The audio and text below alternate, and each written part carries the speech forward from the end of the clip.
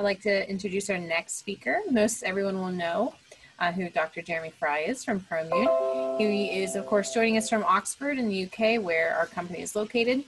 Uh, Jeremy gained his Doctor of Philosophy from the University of Oxford, developing gene therapy strategies to induce immunological tolerance in transplant recipients.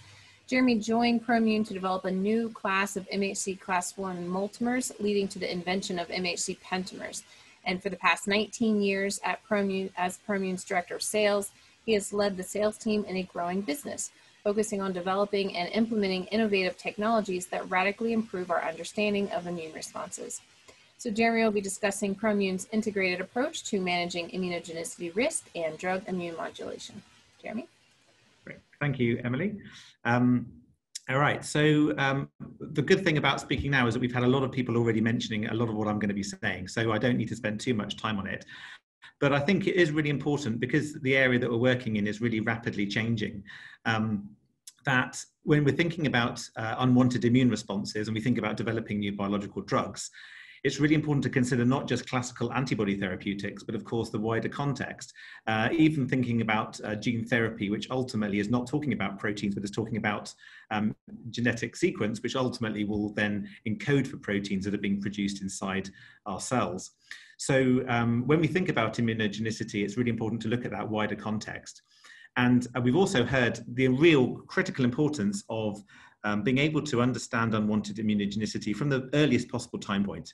If we can manage that risk um, from a design perspective, that's really going to ensure that uh, the molecules that we're developing are going to reach market without a competitive disadvantage and would have the best efficacy and safety profile that they can have in regards to delivering them to patients and having a molecule that is going to work. Um, so unfortunately, we know that unwanted immune responses can result in treatment failure. And the part of that is because it's a very complex area. And so predicting that is essentially uh, something which, you know, many people you've heard about talking to, to heard talking today have been um, trying to do and have done that to some degree of success. Um, but it's not an easy area. And the reason that it's not simple is because it is driven by a very complex set of different factors, some of which are kind of competing. The best way of uh, thinking about that is to think about both extrinsic factors and intrinsic factors. So extrinsic factors are those sort of outside the, the, the main molecule itself, so how you're delivering your, your therapeutic. Uh, Amy mentioned about the frequency of exposure, the dosing, uh, the patient's own immune system status, whether they're hypo or hyper responsive. Uh, do they have pre-existing anti-drug antibodies or cross-reactive uh, antibodies? What's their HLA type, so the genetic uh, status as well? These all have big, big impacts. And then there are things that as drug developers we have some control over. And you've heard Thomas, Thomas talk in regard and Tim's talk about um, actually the, the, best ways of thinking about how we can address um, having um, improved sequences that are going to then lead to low immune responses. So uh, the actual amino acid sequence of the drug is a very obvious starting point, of course, but also how is that drug formulated? Um, its aggregation state status, um, codon optimization is a very hot topic we have to think about. Even if the protein has exactly the same sequence, the codons and how they're optimized and how they're used within the cell can actually make, have a big impact on um, subsequent immune responses. And uh, we've also heard from, from Tim talking about proteins um, in the antigen presentation assay, which can ha have different differential presentations based on um, half-life extensions, for example, and the profile that's then uh, seen by the immune system can be very radically different. So take-home message being that demonstrating equivalent or reduced antigenicity in your biotherapeutic really does have some very significant benefits. So thinking about that, the immune response is obviously very complicated, but uh, this cartoon just simplifies things right down to thinking about how we can um, uh, characterize these unwanted immune responses. So biological therapies shown in this red star here are taken up um, by cells of the immune system, so antigen presenting cells. These APCs then naturally process and present peptides in the context of MHC class II molecules, shown here in blue.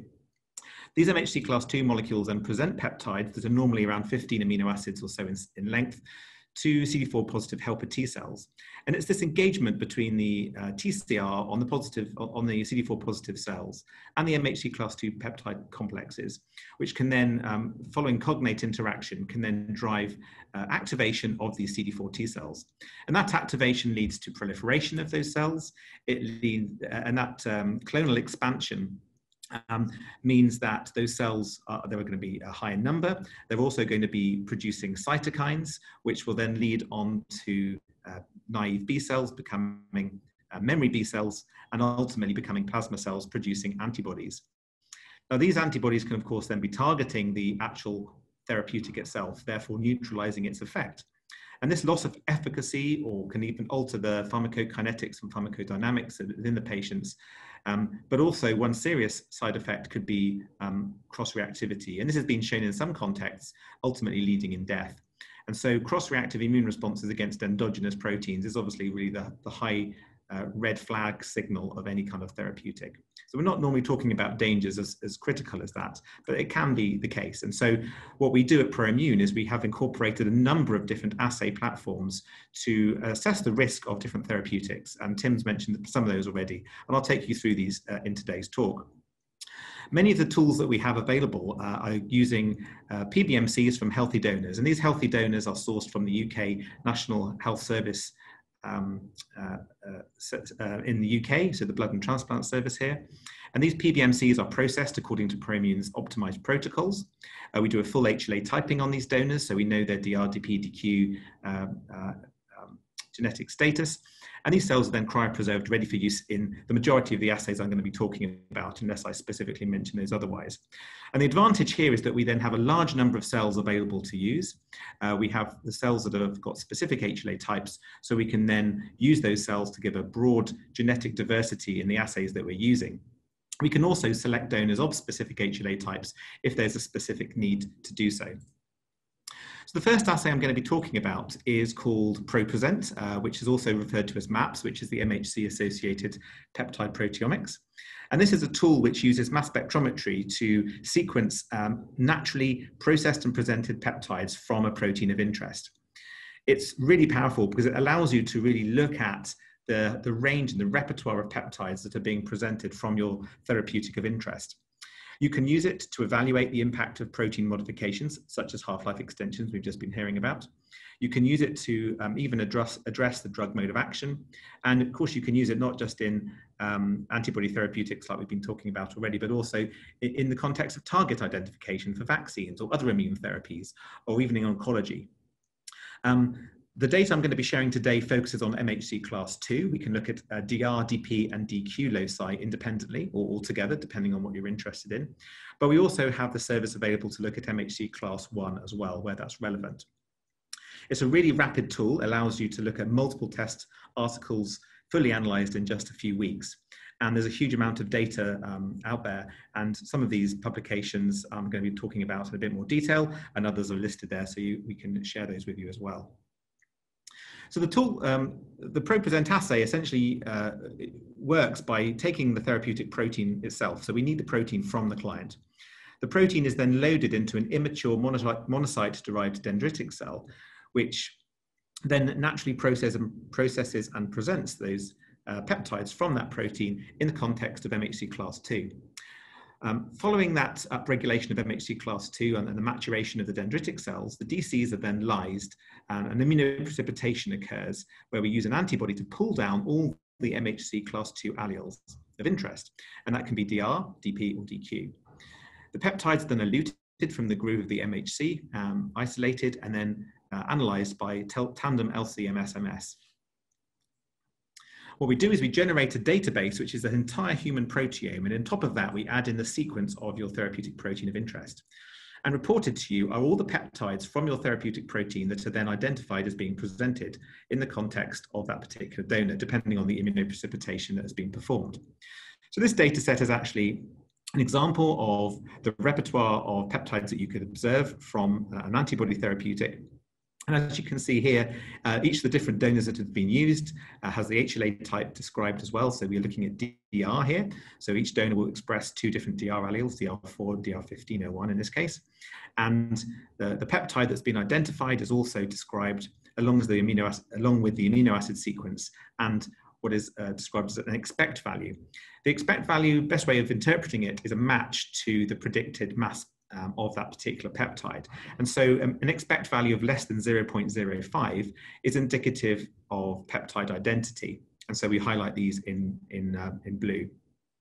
And what you'll typically see is that there are a set of overlapping nested sequences from the same region. And this is very classical in regards to how MHC class 2 presents peptides from proteins.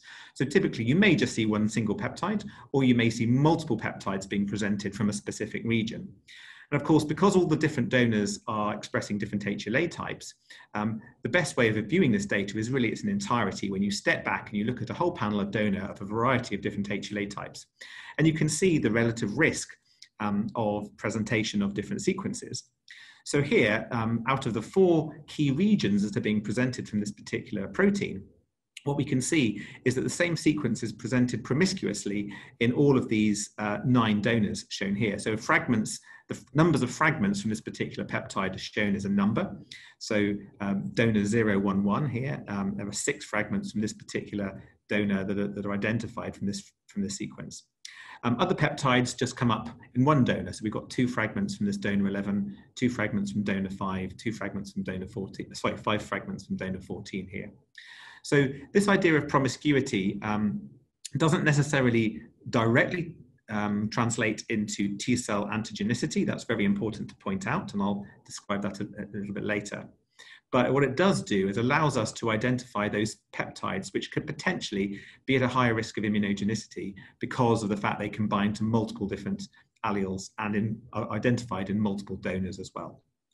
So the next stage on from this uh, approach is to then identify peptides um, that are actually functionally relevant. And that uh, is where we would use the ProMap T cell proliferation assay. And I'll talk about the ProMap assay in a little bit later. But before we do that, I'm going to briefly discuss uh, a couple of case studies. The first is using the Vitreptocog alpha. Uh, Vitreptocog alpha is an engineered factor 7A analog which was developed by Novo Nordisk. Now, factor 7A had been used for a very long time with no reports of clinical immunogenicity. But Novo Nordisk decided that it would be a great idea to sequence modify this to increase its enzymatic activity. And they did this by introducing just three amino acid substitutions, one N-terminal and two C, two C-terminal mutations that were neighboring each other. Now, all was looking good, but when they got to the phase three trial, uh, anti-drug antibody inhibitors were observed in some patients. And so, because this is a sort of a last stage uh, therapy, um, drug development was really discontinued immediately by Novo Nordisk.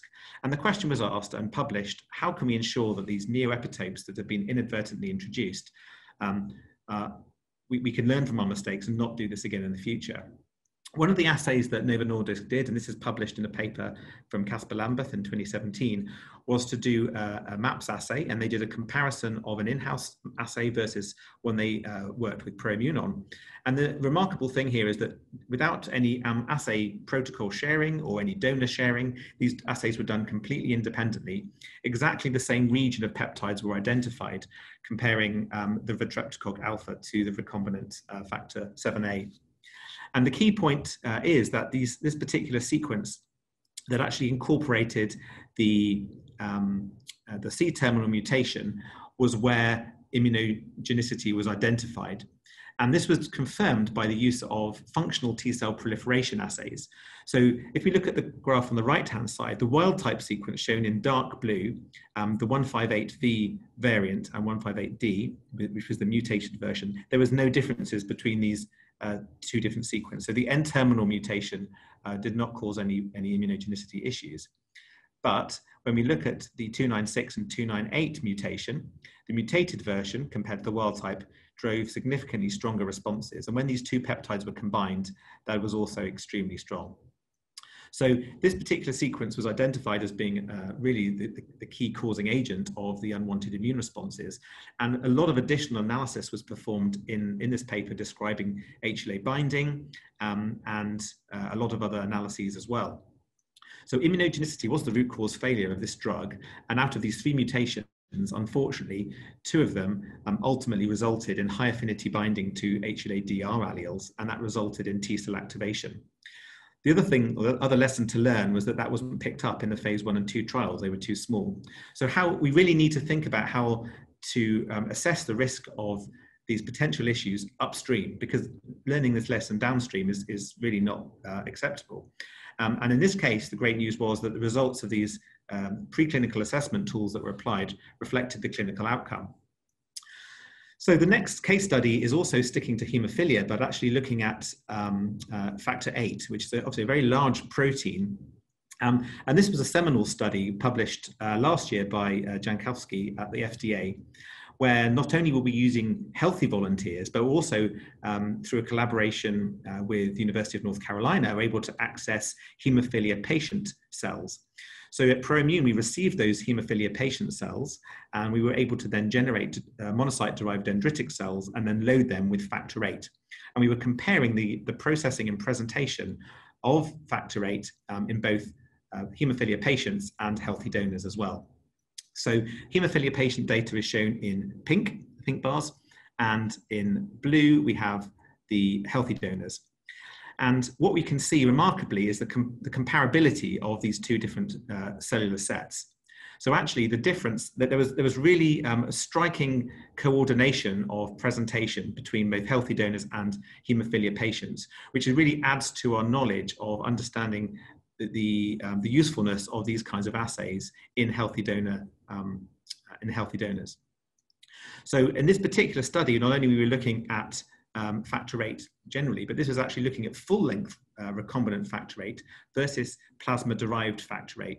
And I would commend the study to you to, to look at this because there's a lot of um, interest in that an additional set of peptides were presented in the full, in the full length recombinant factor VIII plus von Willebrand factor, uh, which binds to factor VIII a very high affinity way, comparing it that to the plasma derived factor VIII. And so that then led to a lot of hypotheses as to why that is. And that actually correlates to what's seen in the clinic, that uh, recombinant factor VIII actually leads to higher levels of um, unwanted uh, anti-drug antibodies against that uh, molecule, comparing it to the plasma derived factor VIII. On the right-hand side, I just want to point out that the number of peptides that are identified in this assay are significantly higher with HLA-DR compared to DP and NDQ at the lowest end. And that's what correlates very much with the level of expression that is known for, for DR versus DP versus DQ. That's not to say that DQ and DP aren't important. There are many circumstances where peptides presented on those loci can certainly drive very strong T cell responses. But this is just from a point of view of understanding the number of peptides identified in this assay. Um, this uh, is a comparison as well, just focusing on the fact, full length factor VIII and the plasma derived factor VIII, and also a product developed by CSL Behring called Afstilla, which is a B domain deleted version of factor VIII. And actually, the, um, the Afstilla product, as you can see in the middle slide here, and the plasma derived factor VIII had very comparable um, antigen processing and presentation patterns of the repertoire of peptides there when you compare that to the full length factor eight. And again, there's a, um, a nice abstract from Marco Hoffman and uh, a talk from Zubin Sauna at the FDA available on our website if you want to learn a little bit more about that. This assay has also been used for therapeutic antibodies. So uh, Jad Mamry actually spoke at our meeting a couple of years ago, um, demonstrating how this assay was used to compare ipilimumab and nivolumab as well.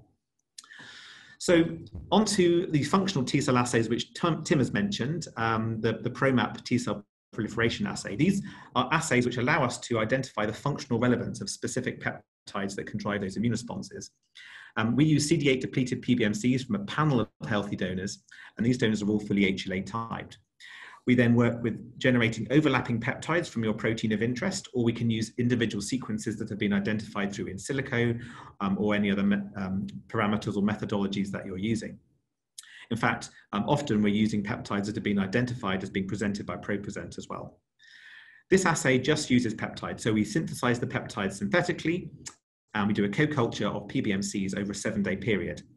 The PBMCs are labeled with an intracellular dye called um, CFSE, and CFSE um, labels all the intracellular proteins. And so when the cells divide, the daughter cells then um, spread the dye equally between themselves. And so the, the uh, fluorescent intensity then halves after each proliferation. And that can be then used to quantify the proliferation over that period of time. Um, this is an example of some um, proliferation data. So we have controls, of course, PPD as a, a positive control on the left-hand side, and KLH. This confirms a very strong memory and naive T-cell response in 100% of the donors the majority of times. We also include a CEFT peptide pool, which is CMV, EBV, influenza, and tetanus, and again, a very strong response to that recall antigen peptide pool. And then finally, the, the last control is what we call uh, the, the KLH peptide pool. And these are actually peptides that are identified from uh, keyhole limpet hemocyanin through the MAPS assay, the ProPresent assay, again, driving a strong T cell response. And this is useful because it just shows that the donors that we're using are capable of driving those very strong T cell responses that we don't want to see. But of course, what we're really interested in is are the peptides that we're designing into our therapeutics, are they capable of driving these T cell responses. And that's where, for example, peptide 3 here, where we see five donors responding, um, this would be a, in the kind of the amber range of, well, th this is something, certainly a peptide that you'd want to have a look at and take more caution over if you're taking this forward um, through your studies.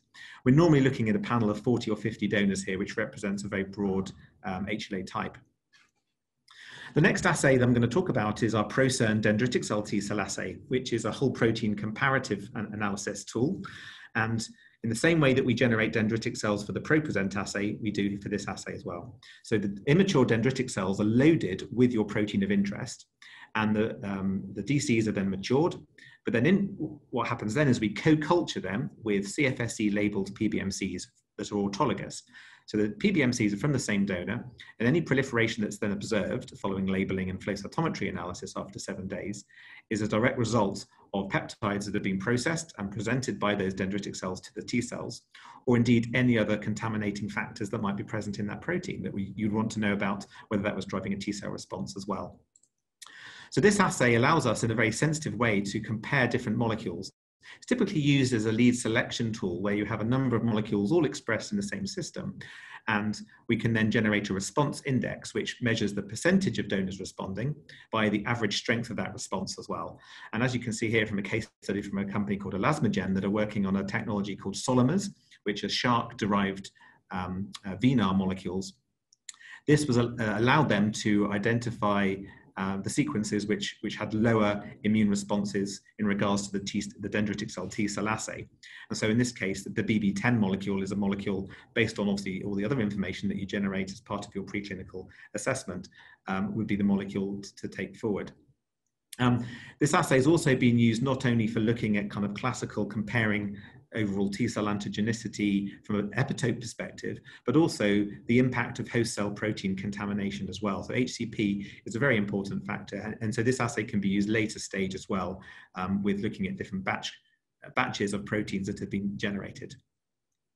Um, the last assay I want to talk about is cytokine storm. And many of you will know that first infusion reactions um, are quite normal, but um, they can be quite serious. And back in well, more than 10 years ago now, uh, TeGenera 1412 uh, antibody uh, generated near fatal clinical responses in all the test subjects in a phase one trial. And since then, there's been a huge amount of interest in working with assays that can really uh, identify and characterize relevant risks associated with these molecules that can obviously have a, a big impact on immune modulation.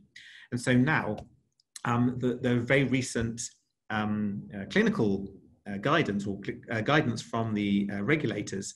Uh, and it's just important to point this out. So back in February, the non-clinical safety evaluation of immunotoxic potential of drugs and biologics guidance came out from the FDA. And um, they are expecting sponsors, when submitting data to the agency, that in vitro assays assessing immune activation, cytokine release, and ligand receptor interactions in human cells um, include an assessment of the potential for cytokine release syndrome caused by therapeutic proteins using unstimulated human cells in both plate-bound and soluble formats with appropriate positive and negative controls, and that these assays are considered critical for hazard identification. So I think it's really important just to point out the, the, the, um, the huge kind of important nature of doing these kinds of analyses wherever you're working with a, an immune modulating therapeutic. They also state in, in guidance as well um, that Amy uh, Rosenberg mentioned in her talk to the immunogenicity assessment for therapeutic protein products uh, from 2014, the data from animal studies should be supplemented by in vitro assessment of cellular activation, including proliferation and cytokine release in human whole blood or PBMCs, and that measurement of a cytokine panel should be as broad as possible and include IL-6, interferon gamma, and TNF-alpha.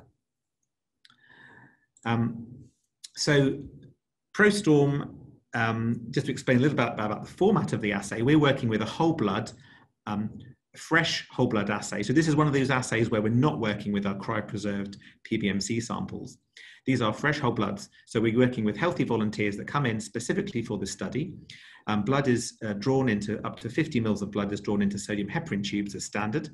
And that blood is then taken straight up into the laboratory um, within two hours uh, to incubate with your test articles of interest at a range of concentrations. The assay controls include PBS and uh, SEB, and we typically, although it's not compulsory, of course, uh, we would run a low response comparator and high response comparator as well. So Erbitux being the low and Campath high. We then uh, do a 24 hour, 24 hour incubation um, and then we isolate the plasma and we quantify interferon gamma, TNF alpha, IL-2, 4, 6, 8, and 10 um, by multiplexed immunoassay. And we also offer the option for an additional range of uh, cytokines and chemokines as well, depending on the specific mode of action of your therapeutic. Um, we can turn these assays around in just four weeks, and this is really kind of uh, leading uh, service that we're providing.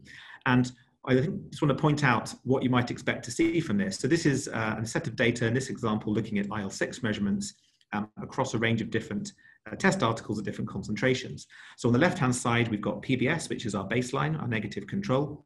And then SEB, we've got the median levels all um, plotted with this horizontal red bar. Um, what you can see with Remicade is that as you, as you increase from 0.1 to 100 micrograms per mil, the median value actually stays on the baseline. There are certainly individual donors that will, will respond and produce IL-6, but the median value stays on the baseline.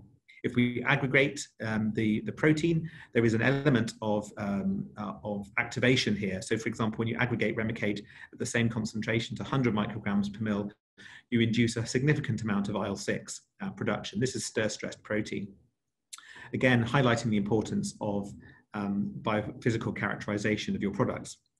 Erbitux, which is our low response comparator, again, the median is on the baseline. And then Campath, which we know induces a strong um, cytokine storm in patients, which is typically mitigated by the use of um, anti-inflammatory steroid treatment. Um, we have uh, an increased concentration, which is dose dependent. And then there are other proteins here. But typically, we're, we're using this assay to look at maybe a single tox batch of protein that uh, our clients are working with. And this allows you to then really measure what the overall effects are of, um, uh, of this particular molecule in, a, in an assay which is as close to the clinical analysis as you could have. So it's a cytokine release assay for hazard identification and risk management. It's a really simple whole blood assay system which minimizes any test system interference. And the observations that we have here is that the, the data correlates very much between the clinically observed response and what is measured in ProStorm. We have a very flexible study design, so we can work with a, range, an extended range of cytokine and chemokines, and we also offer both the soluble and plate-bound uh, version of this assay. And the whole um, service is delivered in just four weeks. So just to summarize, um, really, I hope I've convinced you that managing drug immunogenicity from the earliest possible stage is really important to giving yourself the ability to win the drug markets of the future. And generating this key immunogenicity data allows you to differentiate your biologic from the competitors. Because so many molecules, I guess, are against similar targets, um, low immunogenicity is really important from a patient perspective as well as a commercial perspective. Um, you'll need access to a wide range of specialist assays to, do this. Um, and with Promune's breadth of experience and the integrated platform that we have of our best-in-class assays, um, that will really save you time, money, and reduce your overall project risk. We have a really extensive range of experience with different types of therapeutic entities. So some of them are listed there, um, and the list goes on and continues to extend. Um, and so, yeah, I would certainly welcome any questions if there's time, Emily. Thank you. Okay, Great, thank you, Jeremy. Um, there are some questions. Um, Amy, I'm going to have you uh, ask Jeremy. Let me just go ahead and ask you to unmute.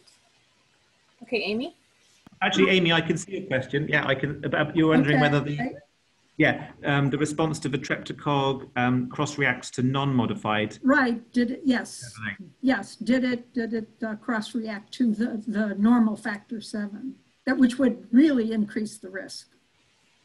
Yeah, so I think um, the the data, that, as far as I remember, the data from the, the clinical the clinical data, the phase three data, um, I, I believe that was really why it was pulled, uh, and that was that was the case. So um, because obviously as soon as they saw any of those safety signals, that was a massive, massive problem because nothing could be done about it. So lots of last defense. So it, that, that was my understanding from that, from that work.